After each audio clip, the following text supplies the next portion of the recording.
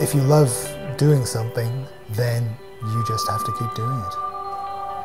If you don't, then what's, what's life for? I'm Mark Rowlands, I'm a writer and philosopher. When I started, running was all about getting first one and then three you know, rapacious canines to stop eating everything I owned. If I ran them hard enough and often enough, then they would mellow a little.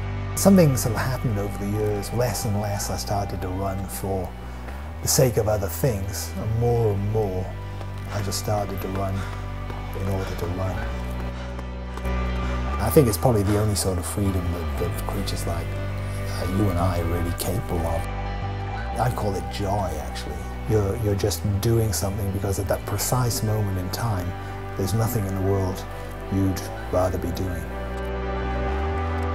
Most of the things I've written have, you know, in one way or another, been about us and our place in, in the universe. What in this life should I, I value or cherish?